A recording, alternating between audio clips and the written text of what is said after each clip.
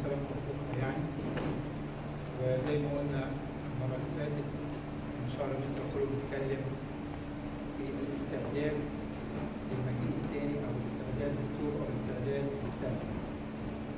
تيجي آخر أسبوع نتكلم فيه عن نهاية الأيام في مرقص وإذا كانت السنة القبطية بتحمل حدين آخر السنة لأن بيبقى فيه عشان تدخل السنة في خمس أيام شهر مصر فساعات بيبقى فيه سنين بيجي حدين آخر حد في شهر مصر الحد اللي بعديه برضه بيجي حد في شهر ناسي فلما بيجي حاجة زي كده زي السنة دي الحد ده بيبقى 23 مصر على الحد الرابع والحد الجاي مش بكرة اللي بعديه بيبقى أول شهر ناسي وخمس أيام فبرضه الكنيسة بتتكلم فيه في نفس الموضوع لكن بتتكلم فيه إنجيلين مختلفين. إنجيل النهارده الانجيل معلنا مرقس 13 الإنجيل الأسبوع الجاي هيبقى متى 24. تقريبا نفس الكلام نفس الأحداث المسيح له كل مجد قعد مع تلاميذه في إنجيل بيقول قعد مع التلاميذ في إنجيل تاني بيقول قعد مع بطرس ويعقوب ويوحنا واندراوس مع الفراد ويبدو ان هو عمل هذا الموضوع مرتين. الموضوع باختصار الكنيسة وضع هذا الإنجيل علشان تقول إن من آخر السنة القبطيه هي كمان بتفكرنا بالحياة الأبدية بتفكرنا بالتوبه. المسيح له كل مجد لما اتكلم في هذا الموضوع اتكلم في موضوعين. موضوع نهاية الأيام المجيء الثاني وموضوع اللي هو بتاع خراب الهيكل واللي هيحصل للمسيحيين بعد خراب الهيكل واللي هيحصل لليهود في المنطقة دي. اتكلم أيضا ما بين الموضوعين دول إن الناس هتبقى في أوجاع في العالم في زلازل وفي أوبئة لكن ده مبتدئ الأوجاع. أيضا اتكلم في إزاي الناس ما يهتموش لما يتقدموا للولاة ما يهتموش بما لا بما يقولون. كل الأيام كل الأحداث دي حصلت حصلت من بعد القيامة لحد النهارده وهي بتحصل. لكن ما ننكرش إن ربنا إدى علامات معينة للمجيء التاني. ناس كتير قوي شاغلة بالها في الأيام دي تقول يا ابونا هل المجيء الثاني قرب القيامة قربت أقول ما حدش يقدر يقول إمتى بالظبط المجيء الثاني ولا المسيح هيجي إمتى حتى ابن الإنسان ودي كانت واضحة قوي إن ربنا حتى ابن الإنسان مش معنى كده إن ابن الإنسان يسوع المسيح ما يعرفش لكن قصده بيقول إن يسوع المسيح بين ناسوت حتى يسوع المسيح بين ناسوت لا يعلم الساعة لكن طبعا المسيح له كل مجد لاهوته وناسوته مع بعض طبعا يعلم يعلم الساعة طبعا ربنا إدى العلامات إذا كانت كنيستنا ما بتهتمش بالعلامات. ربنا إدى العلامات علشان نبقى في بالنا موضوع المجيء التاني وإن المسيح قريب. تملي الكنيسة في فكرها في الصلوات حتى في الكتاب المقدس تملي وفي آخر آية في سفر الرؤيا يقول أمين تعالى أيها المسيح تعالى يعني إحنا مستنيينك بفارغ الصبر. ليه؟ ليه عايزين المسيح يجي؟ إحنا جاهزين إحنا مطمنين مطمنين على ابديته طبعا ده بالنسبة لمين؟ ده بالنسبة للشخص اللي مطمن على ابديته. يبقى اذا الكلام ده كله الكنيسه وضعاه في نهاية السنة الكلام ده كله المسيح له كل مجد قاله علشان كمان يفكرنا بنهاية الأيام بالعمر يفكرنا بالتوبة. طبعا في ناس تقول يا ابونا بس برضه العلامات كده بتقول في بعض الوعاظ بدأوا يقولوا إن فعلا نحس كده نهاية الأيام قربت. أقول لك ممكن مفيش ما ينكر ذلك. واحد برضه يرجع يقول يا ابونا لا بس برضه في مجاعات ما دي كانت المجاعات دي من من بدري والزلازل من زمان أقول لك لكن شوف برضه يبدو كده يبدو لكن ده يعني مش فكر مش فكر الكنيسة لكن ده فكر شخصي في نفس الوقت الكنيسة ما بتحبش تفسر هذه المواضيع لأن ربنا قال إن الأيام دي ما حدش يعرفها. لكن واضح إن ربنا ادانا علامات برضه عشان نستعد للمجيء الثاني يبدو إن المجيء الثاني فعلا بدأ. يعني مثلا بص مثلا يقول لك يقول لك إن هتكون في مملكة على مملكة وتكون زلازل في أماكن وتكون مجاعات وهذا مبتدئ الاوجاع طب إيه الفرق ما بين اليومين دول واللي قبل كده؟ لا قبل كده كان بنشوف مثلا سلاسل كل فترات متباعدة. نلاقي حروب كل فترات متباعدة. نلاقي أمراض كل فترات متباعده لكن بنلاقي إن الأيام دي طبعا مش الأيام دي الأيام دي يعني مثلا من 20 30 40 50 سنة نبص نلاقي الحاجات دي بقت كتيرة جدا. يعني ورا بعض ورا بعض. يعني ما بنصحاش بننام ونصحى يقول لك في زلازل وكل مكان بقى فيه زلازل وكل مكان بقى فيه أوبئة. وكل مكان بقى بنسمع حروب. لكن مش معنى كده إن هي بكرة. أو ما نعرفش ممكن يكون بكرة. لكن في النهاية أنا عايز أقول لكم إيه يعني؟ يعني مجيء المسيح اطمنوا إن هو قرب لكن إمتى ما حدش يقدر يقول؟ وقبل كده حتى في وعاظ في ناس يقول لك ده 2000 مش عارف 2000 مش عارف 15 مش عارف 5 5 كل الكلام ده ده كلام شياطين. ربنا نفسه قال ما حدش يعرف السر لكن إحنا يهمنا إيه في الموضوع ده النهارده؟ يهمنا إن الإنجيل ده اتعاد مرتين برضه لسبب تاني. الكنيسة مش بتعيد الكلام. لأهمية الموضوع أيوه لآخر السنة. لكن الكنيسة مش بتعيد الكلام. لكن الكنيسة النهارده لو قريت البولس بكسيس هيتكلم تلاقي فيه بيتكلموا كده في حاجتين مهمين قوي. رقم واحد ما تهتمش ببكره. اهتم بكرة في حاجة واحدة بس أو اهتم النهارده بحاجة واحدة بس بتوبتك. رقم اثنين اصبر. رقم اثنين اصبر عشان كده أنا عايز النهارده أكلمكم المرة الجاية بقى الأسبوع الجاي طبعا إحنا مش هيبقى فيه بس خالص الأسبوع الجاي لما تقروا القرايات هتبتدي تتكلم بقى على إيه العلامات بقى واضحه قوي العلامات يعني نتكلم على العلامات نفسها إن شاء الله اللي هيجي بكرة فيرا هنتكلم في موضوع العلامات ده سريع والمرة اللي بعديها هنتكلم برضه في موضوع روحي. أنا عايز النهارده أتكلم في موضوعين روحيين بسرعة. أول حاجة لا تهتموا بما تقولون. إذا كان المسيح إلى كل مجد وصى التلاميذ والرسل وقال لهم ما تهتموش بما تقولون. والتلاميذ والرسل كانوا الناس على قدهم جدا. لا في فلسفة ولا في علم ولا في حاجة خالص. لكن في حاجة أقوى من كده. إيه اللي أقوى من كده؟ الروح القدس. المسيح اللي جواك هنبص نلاقي كل الشهداء والصديقون كانوا أقوياء جدا في شهادتهم يعني منذ العهد القديم. ومنذ لحد الآن نبص نلاقي كل الشهداء أقوياء جدا. والصديقون ليه؟ لأن اولا هم هم على حق. فاللي بيبقى على حق ما بيخافش. يعني إمتى أنا خايف؟ يبقى مش على حق. أو أبقى على حق بس ما فيهاش قوة ربنا. لكن لما بيقول الاثنين أنا على حق وفيها قوة ربنا أبص ألاقي نفسي إيه؟ قوي. إذا كان العالم لما تيجي تكلم واحد إيه على حق يبقى قوي لأنه على حق. طب ده هو كمان ما فيهوش قوة ربنا. طب أنا بقى كمان لما ربنا يديني القوة حتى لو أنا ضعيف فأنا بقى إيه؟ أبقى هنا إيه؟ أبقى قوي. لأن ربنا معايا. نبص نلاقي مثلا واحد زي بولس الرسول. قدام فيليكس الوالي في منتهى القوة. طب فين بولس وفين فيليكس بكل جبروته بطرس الرسول في السجن. أنا تعجبني الآية دي قوي بطرس الرسول في السجن خلي بالك بطرس الرسول ده كان مين؟ اللي أنكر في الصليب أنكر قدام مين؟ جارية جارية يعني جارية دي ولا تساوي حاجة خالص خالص يعني ومع ذلك في السجن لما دخل في أعمال الرسل يقول لك كانوا كل المؤمنين بيصلوا من أجله يقول لك الملاك جه علشان إيه؟ يخرجه فلا بطرس كان إيه؟ كان نايم فيقول لك إن هو إيه؟ نجزه يعني إيه نجزه؟ يعني واحد بيقول له اصحى ما بيصحاش النور ده كله ما بيصحاش فين وفين لما صحي كان تاني يوم هيستشهد ومع ذلك كان نايم نوم عميق جدا طب إيه اللي مديله الراحة دي؟ الراحة دي واخدها من أجل إيه؟ ثباته في المسيح ثبات جبت الثبات ده منين؟ لا تهتموا بما تقولون أنا مش خايف خايف من إيه؟ إيه اللي هيحصل؟ مفيش حاجة هتحصل كل القوة دي جابوها منين؟ لا تخافوا بما تقولون ما تخافش ما تخافش من حاجة انت فيك المسيح ما تخافش من حاجة. لحد يومنا هذا والذين يستشهدوا ونشوفهم يستشهدوا ما بيخافوش ما بيرتعبوش. ليه؟ اولا انهم أقوياء بشهادتهم لنا الحق رقم اثنين المسيح اداهم قوة. رقم ثلاثة انهم مستعدين للموت. في المسيح ودي بقى اللي تهمنا مستعدين للموت. يعني إيه مستعدين للموت؟ ما الموت جاي جاي. هتعذب أكتر شهيد اتعذب إيه؟ شهور بس خلصت وفي ناس أهو موت استشهاد. لكن استشهاد في مين؟ استشهاد في المسيح فعشان كده خايف من إيه؟ كل الشهداء تقروا قصصهم دي مفيش خوف. ماري سيفين ماري حتى الأطفال الصغيرين.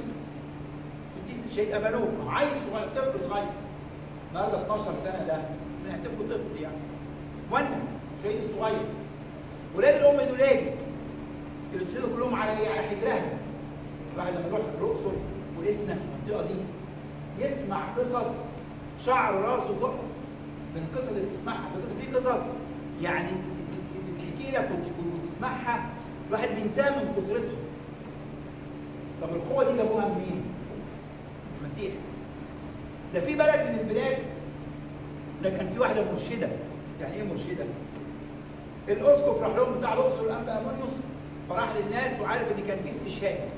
شوفوا بقى الاساقفه والآباء الكهنة مش يبعتوا ولادهم وشعبهم للاستشهاد هم يهربوا لا ده هو قبليهم.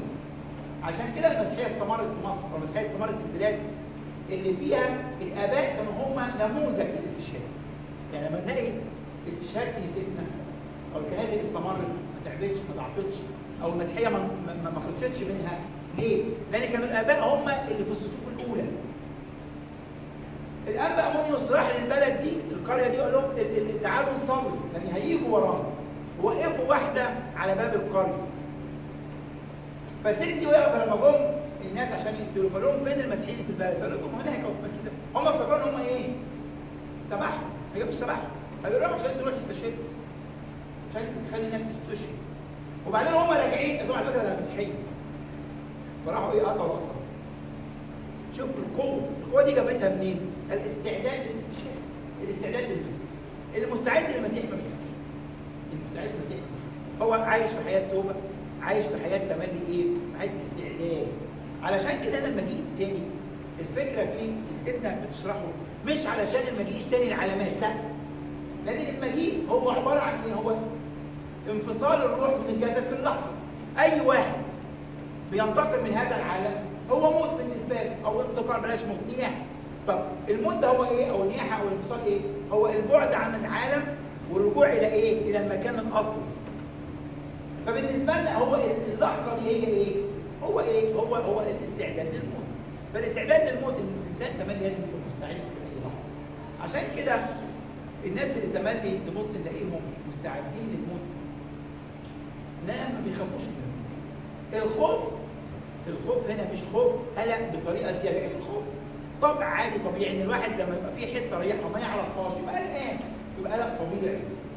لكن اللي يخاف من الموت خوف خوف اضطراب فظيع مش بينام علشان لا. أو حد مثلا يعني من قرايبنا مثلا انتقل فيبقى خايف من الموت لا. لا هنا الخوف من الموت يبقى انت انسان في حاجة إيمانية لازم روحية لازم حاجة تقول لك. لا يا حبيبي تعالى ابتدي اقعد معانا واتكلم. فيها إيه غلط. لازم نسمع ولازم نتكلم ولازم نعمل. يبقى رقم واحد لا تهتم بما تقولون. رقم اثنين الإنسان اللي مع ربنا ده عنده صبر. والإنسان اللي ما بيخافش من بكرة عنده صبر. علشان كده برضه إيه؟ من يصبر إلى المنتهى فهذا إيه؟ يخلص الصبر ده بيجي لنا منين؟ يعني في واحد إيه؟ تملي مضطرب في مضطرب في العالم. أي حاجة تحصل له في بيته يضطرب. أي شغل ما يشتغلوش يضطرب. أي حاجة حد يكلمه يضطرب. طب أنت بتضطرب ليه من أي حاجة؟ لأن ما عندكش برضه ثقة في ربنا. اللي عنده الصبر وعنده ثقة في ربنا لا يهتم بما يقول. وأيضا عنده صبر. الصبر ده اختبار. يعني إيه اختبار؟ يعني الله ممكن يكون سمح بكل المشاكل دي في العالم علشان إيه؟ يغربلنا مين قوي في إيمانه ومين ضعيف؟ ما هو لو مفيش مفيش مفيش اختبارات. طب ما خلاص. يعني إيه؟ هتبقى إيه الفكرة يعني؟ لو إحنا عارفين إيه اللي هيجي لنا. طب يبقى إيه الفكرة؟ لكن الانسان اللي قوي مع ربنا بيبان إمتى؟ بيبان في الاختبار. في اختبار مرض في اختبار وجع في اختبار انتقال حد من أصحابنا أو قرايبنا في اختبار تعب في العالم في اختبار اضطهاد في اختبارات. لو ما فيش الاختبارات دي. طب أنا هعرف منين؟ إذا كنت أنا بحب ربنا فعلا ولا لأ. هيبان منين يعني؟ ده بالعكس ده أقدر أقول كمان إن الإنسان اللي ما فيهوش اختبارات في حياته ممكن تبقى حياته بعيدة قوي عن ربنا. يعني وده مش عيب. يعني مثلا يجي الواحد مثلا يقول لك إيه؟ ليه لما يبقى عندنا امتحانات ومذاكرة ليه قريبين من ربنا؟ وليه لما امتحانات تنتهي هنا بعيدنا عن ربنا؟ لأن الواحد خايف فالخوف يرجع من ربنا تاني طب يبقى هنا ربنا برضه في فكرة في الاختبار ده الاختبار ده بيبقى في فكرة يبقى اذا هنا لما نصبر في الاختبار يبقى دي علامة من علامات إيه؟ حبنا علامة من علامات الاستعداد اللي يصبر في في, في اللي يصبر كمان أيضا إنسان هيلبس اكليل هينتصر هينتصر على إيه؟ اولا هينتصر على الشيطان لأن الشيطان يتعب جدا من اللي عنده صبر في المسيح يعني إيه؟ يعني ممكن أنا بخت وعندي صبر وعارف إن أنا هنتصر وعارف ان أنا وأرجع اخت تاني. لا أنا عارف. أنا عارف إن إبن ربنا. مش بقوه يا رب أنا عارف إن أنا ضعيف. عشان كده عمال اخت فانا ضعيف. لكن أنا مش ممكن ابدا هيجي لي جباب مش ممكن ابدا هزهق. أنا واثق في ربنا واثق في الاصل صبر ده اللي عنده إيه؟ ده اللي عنده صبر. يقول لك الله يجي يقول لك حبيبي واحد يقول لك أنت ما زهقتش. ما زهقتش. ليه ما زهقتش؟ لأن قوة ربنا. ربنا بيدينا الصبر. بيدينا إيه؟ بيدينا الانتصار. أيضا الانتصار في في مشاكلنا ده انتصار وقوة وإرادة شوفوا يا إخواتي الإنسان الروحي والإنسان اللي صبور في حياته الروحية هو أيضا إنسان صبور في حياته العملية اوعى تفصل الاثنين عن بعض يعني واحد خلقه ضيق شوية فيجي يقول لك يا أبونا أنا إنسان روحي بس أنا كده ما استحملش فين فين روحياتك؟ فين روحياتك؟ لا روحياتك دي بتبان فين؟ بتبان في حياتك العملية بتبان في اصدقائك بتبان في خدمتك في الكنيسة بتبان في خدمتك مع الكاهن. كان إمتى يبان خدمته مع الشعب يستنى ويتحمل ويجرب مرة ومرتين لا أتعب كده من خدمه ليه؟ أنا عملت حاجة فلانية ما نفعتش. خلاص لا ما فيش حاجة اسمها خلاص. واحد ابن عندنا شقي شوية خلاص لا. نتكلم معاه مرة ونشد عليه مرة. أنا بدي مثل ومرة ثالثه نتكلم معاه بالراحة. ومرة رابعة نديله مسؤولية. ومرة خامسة ما نزهقش. ونقول ده ما ينفعش نقول لا معلش. جربه تاني. ومال حاول معاه. بطريقة مختلفة. ربنا بيعمل معانا كده. لكن الفكرة في إن إحنا نصبر نصبر إلى المنتهى أيضا في الصبر اختبار في الصبر انت- انتظار. أيضا انتظار غير الانتصار انتظار. يعني إيه انتظار؟ أنا بنتظر رحمه بشوف ربنا بشوف مراحم ربنا. ربنا قد إيه رحيم. واللي كمان يتعب أديله التدريب ده. يعني واحد مثلا ما بيتحملش غيره. واحد مثلا ما بيشوفش غير نفسه. أقول لك يقول أبونا أنا زهقت من فلان. أقول لك طب يا حبيبي ربنا ما زهقش منك ليه؟ تملي أول ما تحس بالإحساس ده خد التدريب ده. افتكر أنت ذاتك الضعيفة وربنا الكبير واللي قاعد مستني عليك يوم خمسة و10 و20 و50 سنة وقاعد مستني. طب يا رب ليه أنت يا رب يعني انت أنت يا رب ما زهقتش مني؟ مو- مو أنا مني أنا بجرب وبحاول وبجرب وبحاول. طب إذا كان ربنا اللي خلقك وأنت بالنسبة له عبد هو سيد وما زهقش منك طب أنت هتتعب من اللي زيك عبد. بس خلي بالك في حاجة معينة مهمة قوي تملي تصبر على غيرك لكن في حاجات لازم تاخد فيها اكشن الناس إيه؟ أولادها برضه. لكن أنا صبر في فرق بين صابر انك انت بتعلمه. لكن في واحد يقول لك لا أنا هسيبه. لا ما تسيبوش. يعني واحد غلط. واحد يقول لك انت مش بتسامحني يقول لك لا. موضوع التسامح ده موضوع تاني غير موضوع إنك أنت غلطت فانا بعلمك زي أنت ابنك لما ابنك يشرب مثلا بعد الشر يشرب سجاير تقول أنا هسيبه. مش هكلمه.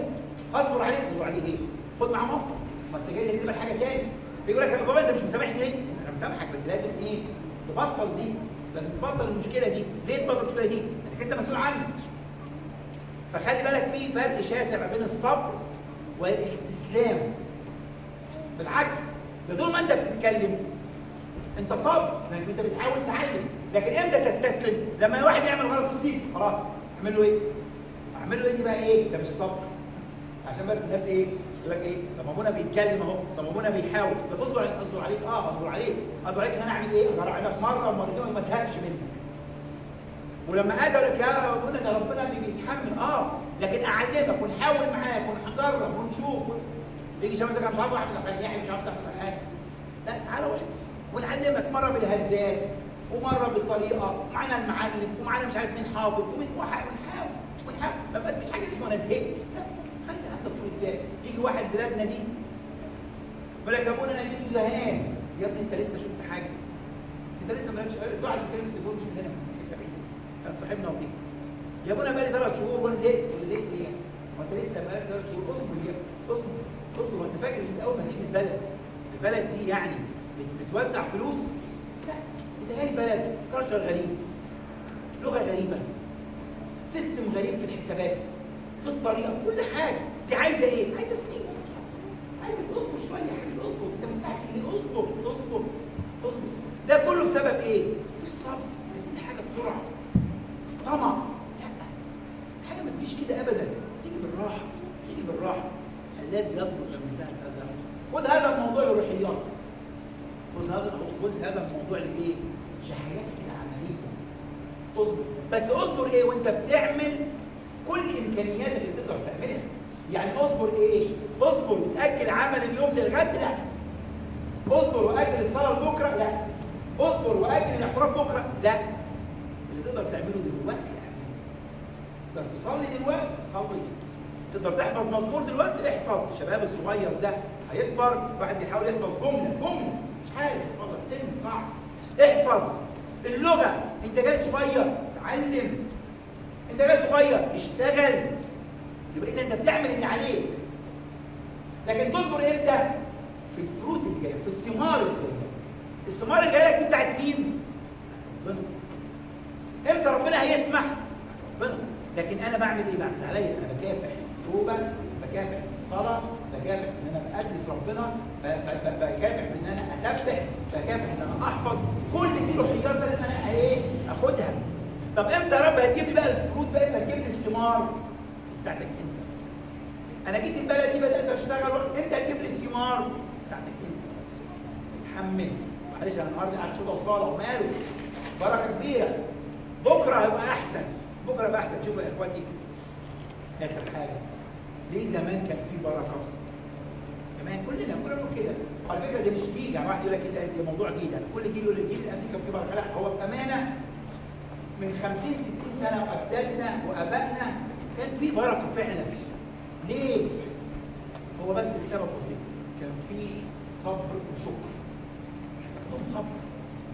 بص الأب من ده بيشتغل شوية صغيرة. عمرنا ما شفنا أهل- ابهاتنا يشتكوا لكن إحنا كثيرين الشكوى. ليه؟ في الصبر أصبر يا حاج أصبر على حاجة أصبر. والكنيسه دي آه إحنا 10 عائلات. ويا أبونا بنتعب معلش أصبر أصبر. شوف بكرة يبقى فيه إيه؟ طب لحد إمتى؟ إحنا بنعمل عليه. إحنا سنه سنه بنيجي لقينا كنيسه افضل هنشوف كنيسة ثانية على مهلك. خد وقتك بس اعمل اللي عليك. آه في حتة نروحها أحسن اجري ونشوفها. طب رحنا وجينا وشفناها ولقيناها مش كويسة. يو زهقنا. زهقت ليه يا حبيبي؟ مش في مكان بتصلي فيه. اشكر ربنا اشكر ربنا. اللي عايش حياة الشكر عايش حياة الصبر. اشكر ربنا واصبر نتمنى ربنا يدينا طول العمر. لكن نتمنى نكون مؤسسين صح عشان نبقى جاهزين ومستعدين لأي وقت يجي الساعة لنا كل ما